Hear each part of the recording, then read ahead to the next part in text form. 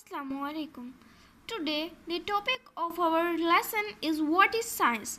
The knowledge which we gain through observation and experiment is called science. Humans didn't know always that the earth orbits the sun. They found out because scientists asked themselves why of the positions of the earth, of the sun and the planets seem to change when viewed from the earth. This, then they spent centuries trying to find the answers. Humans didn't always know how the human body worked. They found out because scientists asked themselves how it worked and then studied living people and dead bodies. Humans didn't always know why things fell back to the earth when they were thrown into the air.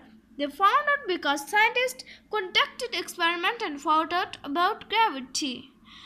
Who, what, where, why, when. Who, what, where, why, and when are the most important words for scientists. If you like science and want to explore the world around you, then they will become important words for you as well.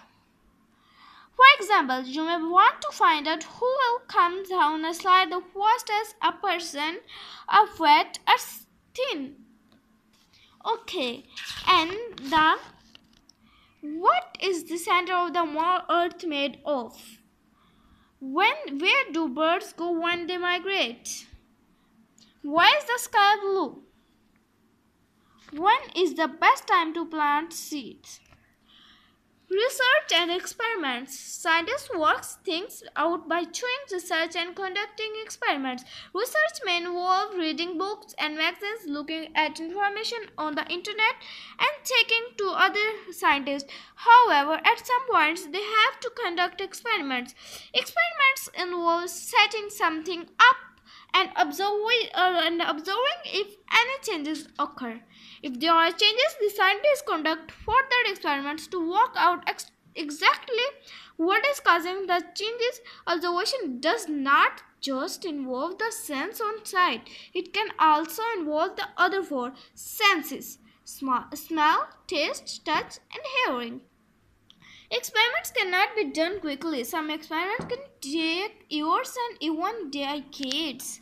Nobel Prize. The highest awards for scientists are the Nobel Prizes for physics, chemistry, and physiology and medicine.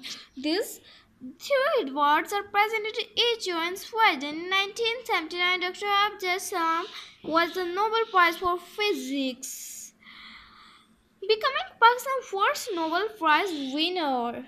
Oh and